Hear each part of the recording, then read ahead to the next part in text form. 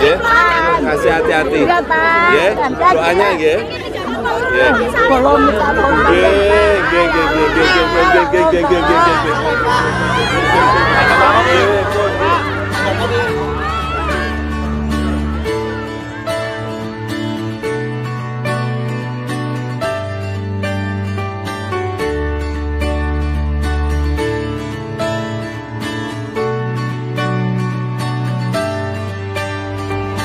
Izin perubahan dari Stikes Muhammadiyah Kudus menjadi Universitas Muhammadiyah Kudus. SK pendirian Stikes Muhammadiyah Wonosobo. Izin perubahan bentuk STIE Ahmad Dahlan Jakarta menjadi Institut Teknologi dan Bisnis Ahmad Dahlan Jakarta.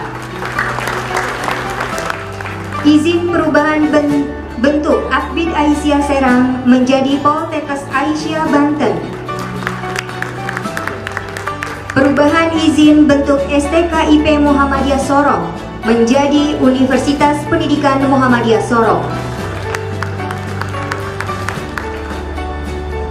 Izin penyatuan dan perubahan bentuk Stikes Muhammadiyah Lamongan dan STY Muhammadiyah Paciran menjadi Universitas Muhammadiyah Lamongan.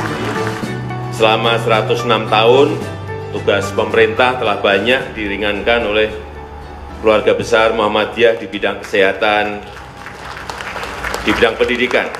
Di bidang kesehatan, lebih dari 72 rumah sakit unggulan yang merata di seluruh tanah air didirikan oleh Muhammadiyah. Saya yakin ada ratusan klinik dan balai pengobatan yang juga merata di seluruh Indonesia yang didirikan oleh Muhammadiyah.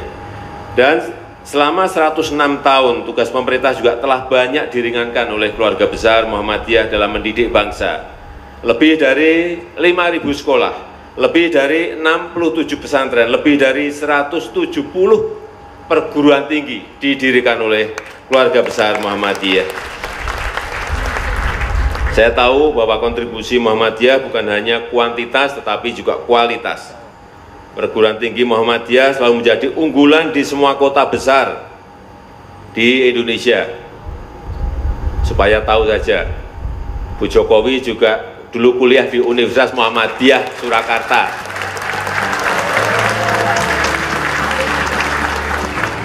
Tapi baru semester 6 sudah sajak kawin.